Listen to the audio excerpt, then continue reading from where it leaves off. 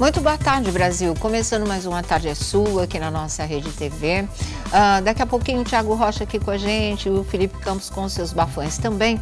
Mas a gente vai abrir a nossa primeira página falando sobre a Xuxa, não é? Que perdeu a mãe hoje, morreu a dona Alda aos 81 anos de idade, a 17 sofrendo com o mal de Parkinson. Agora, ela havia chegado ao último estágio da doença.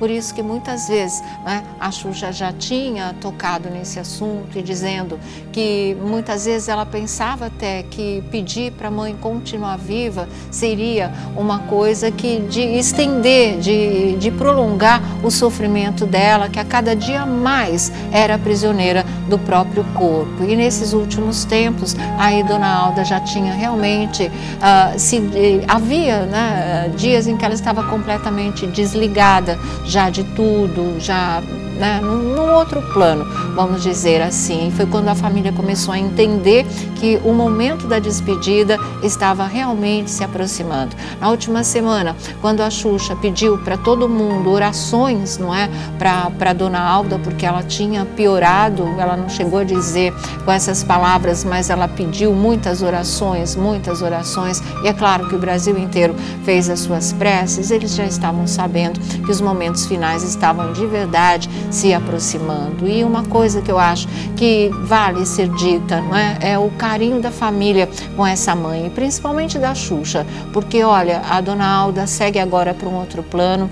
A, a Xuxa postou uma mensagem dizendo: Meu passarinho voou, e a gente sabe que enquanto esse passarinho esteve aqui, e enquanto esse passarinho esteve preso na gaiola do seu próprio corpo em função do mal de Parkinson, a Xuxa fez o possível e o impossível, não é? Por essa mãe. Prova maior de amor não existe de verdade, porque era uma dedicação total, total, até às vezes de contrariar ordens médicas e levar assim a dona Alda para passear, para ver o mar, para ficar um pouco perto da natureza. Ela dava essas fugidas, essas escapadas aí com a mãe dela para né, mostrar a vida, mostrar o mundo, dar uma injeção de ânimo, manter a dona Alda com a chama da vida acesa. Enfim, eu acho que nesse ponto o coração tão triste da Xuxa, de luto hoje mesmo, mas pode estar em paz, com a consciência tranquila, né? e sabendo que ela fez o que ela podia fazer e o que ela não podia fazer para que essa mãe tivesse esses últimos 17 anos de vida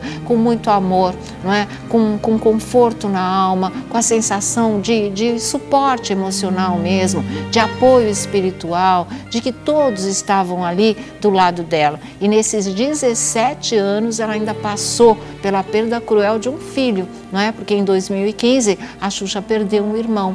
Em 2017, o ano passado, a Xuxa perdeu o pai e agora um ano depois, praticamente um ano depois, porque o seu Meneghel morreu em abril do ano passado e agora em maio desse ano morre a dona Alda. Então, realmente é uma coisa de, de né, todos. Uh, fazerem muitas orações por ela, todos realmente mandarem boas vibrações para Xuxa nesse momento, porque é um momento de muita dor, é um momento anunciado, mas nem por isso deixa de doer não é? o que vai ser daqui para frente, toda ausência, toda saudade. Uh, por um lado, se pensa, ah, é o fim do sofrimento, mas a saudade sempre vai ser muito maior do que essa sensação. De qualquer maneira, Dona Alda está indo em paz, como eu disse para vocês, cercada de todo o amor, não é? cercada da sua família e ainda não há as informações, mas já já a gente vem direto do Rio de Janeiro com a nossa repórter Júlia Alves para saber onde se vai ter realmente um velório, se vai ser uma coisa só para a família, o local em que isso acontece, se vai haver o sepultamento ou se vão preferir, como muitos, muitas famílias preferem, uma cerimônia de cremação. Nada ainda foi decidido, nada foi passado pela assessoria. A assessoria da Xuxa apenas confirmou essa triste informação e a Xuxa postou essa mensagem que diz o seguinte: Meu passarinho voou e vai pintar um lindo pôr do sol para nós. Obrigada a todos pelas orações, escreveu ela, tá aí a mensagem. Foi um dos últimos quadros que Dona Alda conseguiu pintar, porque aos poucos ela foi perdendo todos os movimentos, foi perdendo a fala, não é? foi ficando cada dia mais paralisada até que ela virou realmente uma prisioneira do próprio corpo. Ela não tinha mais nenhum tipo de mobilidade e ela já estava Assim, quando a Xuxa estreou o seu programa na Record, mas fez questão de levar a mãe, que pôde participar desse momento tão importante da vida dela, de encerramento de um ciclo profissional na Globo para começar um outro na, na Rede Record. Né? A mãe, ela fazia questão da mãe participando de tudo, que era uma maneira de ali continuar viva com aquela sensação né, de poder estar participando da vida de todos os filhos. Então, a nota oficial diz o seguinte: Dona Alda mãe de Xuxa Meneghel, morreu em casa aos 81 anos nessa terça-feira. A informação foi confirmada pela assessoria da apresentadora para a revista Quem. E Dona Alda morava com Xuxa no Rio de Janeiro e sofria da doença de Parkinson há 17 anos. O laudo médico ainda não foi divulgado. Dona Alda lutava contra essa doença e chegou a realizar parte do tratamento nos Estados Unidos, porque também teve isso, né? A, a Xuxa procurou todos os tratamentos mais modernos que pudessem existir para combater a doença da mãe, para tentar uh, paralisar a, a, essa história degenerativa de aos poucos ela ir perdendo tudo, até todos os movimentos, realmente, até por praticamente não poder mais falar. Ela queria que esse processo fosse brecado, mas não existiu uma maneira uh, além do que essas que já são conhecidas, nada, nenhuma técnica nova, nenhum medicamento novo e a doença seguiu o caminho que teria que seguir realmente, tá? Xuxa usou o Instagram para falar sobre a morte da mãe. A mãe da apresentadora já estava no último estágio da doença, como eu falei aqui para vocês, que provoca a degeneração progressiva das células responsáveis pelo movimento e equilíbrio. Xuxa também perdeu o pai, o Luiz Floriano Meneghel, em março. Falei abril, mas foi em março do ano passado, por falência múltipla dos órgãos em função de complicações derivadas derivadas de uma osteoporose grave. Em setembro de 2015, Xuxa perdeu o irmão mais velho, o Cyrano Rojabalha. Alguns meses após a morte, em resposta a um comentário, Xuxa revelou que a mãe ainda não sabia do falecimento do filho. No começo de 2014, Dona Alda chegou a passar 38 dias internada no hospital por conta de uma infecção respiratória bacteriêmica, que é uma pneumonia complicada pela doença de Parkinson. E a última internação foi em 2016 por conta de uma infecção urinária, que foi uma época em que a Xuxa também achou que iria perder a dona Alda, mas ela conseguiu superar isso, entrou né, 2017 todo e infelizmente agora, né, em 2018, ela se foi definitivamente. Nós vamos mostrar para vocês daqui a pouco pouco uma homenagem que a Xuxa postou para Dona Alda, mas assim que conta tudo, mas é desde o começo, desde ela criança com essa mãe até todo esse período da doença, todo o suporte, toda essa história. E eu acho que é, é, é, é triste, mas é lindo, porque é uma grande demonstração de amor, não é? do que significa família de verdade, do que é estar presente nas horas alegres, nas horas tristes, nos piores momentos, você está ali segurando com a força do amor, a força do laço que une mãe e filhos, né? Vocês estarem ali sempre presentes, sem nunca abandonar, porque tem tanta gente que abandona pai, que abandona mãe, principalmente em casos de doenças como essa de Parkinson, Alzheimer, né? O pessoal prefere às vezes, muitos casos é necessário, mas muitas vezes grande parte das pessoas prefere internar, colocar esses parentes em clínicas para não ter que conviver não é, diariamente com a doença, porque é uma coisa muito difícil e muito dura. E só com muito amor mesmo você leva adiante e você acompanha esses seres amados até o último minuto da sua existência. E a Xuxa e a família da Xuxa fez exatamente esse tipo de coisa. Então acho que vale a pena ver, vale a pena assistir esses momentos e aprender bastante, refletir bastante sobre isso, sobre a importância do amor, sobre a importância dos laços familiares, porque isso realmente é fundamental para todos nós estejamos saudáveis ou então prisioneiros não é, do próprio corpo, como aconteceu com a dona Alda. Vamos ver agora.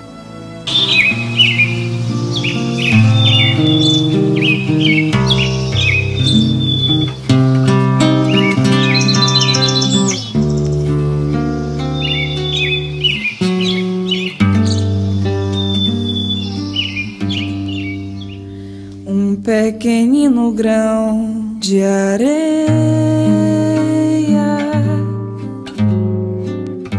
que era um pobre sonhador. Olhando o céu viu uma estrela. Imaginou coisas de amor.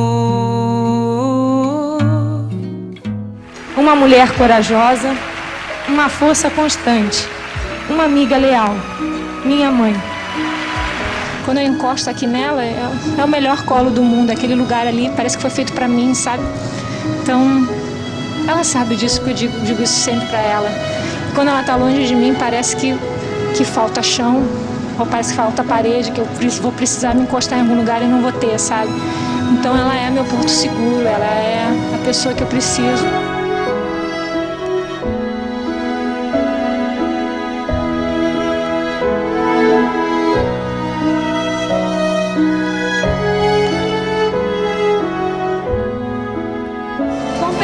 Todas las madres una vaquita, mi madre.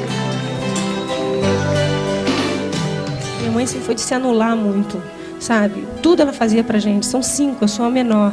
E ela sempre deu de, demais para todos nós, não para um, para outro, entendeu? Ela casou muito nova, casou com 15 anos, teve o primeiro filho com 16 anos, brincou de boneca com a gente. Então, com 23 anos, ela já tinha cinco filhos. E aí eu me lembro que uma vez o meu jeans não secou. E jeans, você botar jeans molhado era horrível, né? E eu tinha que trabalhar. E a minha mãe pegou, tirou o jeans que ela estava vestindo e falou: Toma, vai, vai logo. Não dá para esquecer, sabe? Coisas que ela fazia. Eu sei que muitas vezes ela deixou de comer o que ela queria para dar pra gente. Eu sei que ela deixou de fazer muita coisa para ficar com a gente, sabe? O pedido. Queria minha mãe boa. Queria muito, mas muito, muito, muito, muito, muito, muito, muito, muito. Mas como eu desejo como eu queria. Nossa, queria muito que ela pudesse voltar a falar, mexer um pouquinho os braços para me dar um abraço. Queria muito. Eu sei que não há nenhuma aprovação maior do que eu possa suportar. Mas estou cansado, Pai, preciso crer nas tuas promessas para continuar.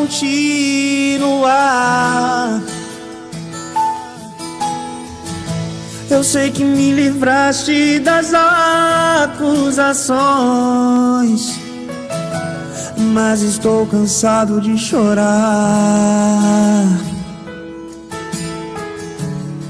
Espírito Santo vem me renovar.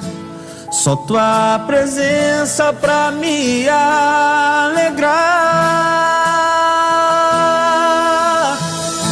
Os sonhos de Deus são maiores que os teus, tão grandes que nem pode imaginar. Desanime, filho, eu vim te consolar. Nas minhas promessas, volte a acreditar.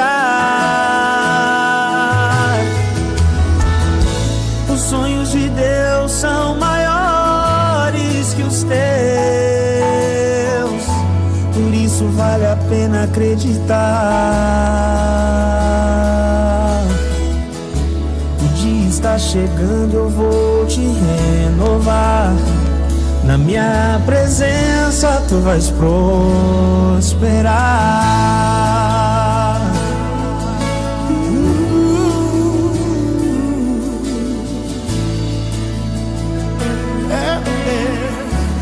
A minha mãe, ela estava em coma.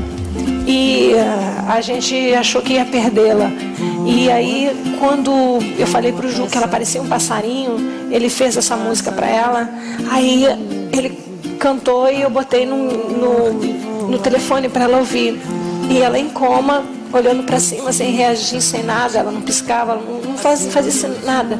Caiu uma lágrima. E aí ela voltou depois que ela ouviu essa música. Então é, é muito é muito especial é para vocês que não entendem de repente a letra o que significa? É, realmente ela acordou ela voltou por causa da música. Então eu precisava explicar para vocês porque é, é lindo vê-los cantar, é lindo ver o Ju cantar, mas vocês precisam saber que essa música fez com que ela voltasse pra gente. Aldinha, meu passarinho lindo, muito obrigada, muito, muito, muito obrigada por a senhora existir na minha vida, mesmo não falando muito agora, mas dizendo tudo com o seu olhar e com esse coração lindo. Tchau, tchau, tchau, tchau,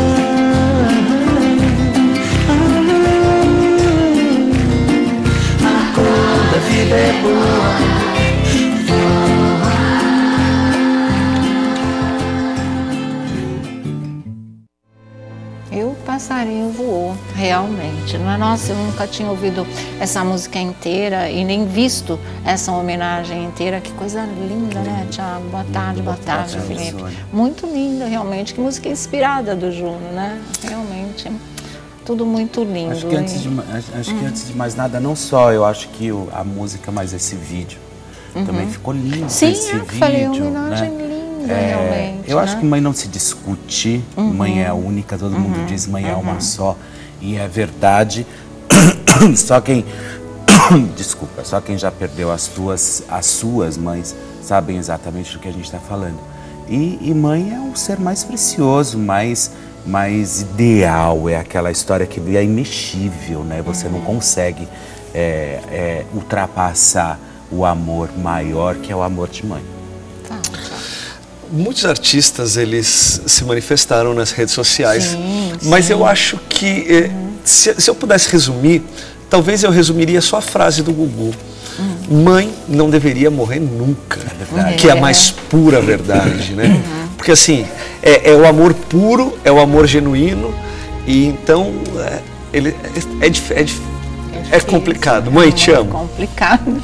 É isso mesmo. Olha, padre Fábio de Mello também deixou uma mensagem para Xuxa, falando assim: para minha querida amiga Alda, que tanto me ensinou que amar é persistir Amo você, Xuxa. Só Deus e você sabem o que significa o dia de hoje.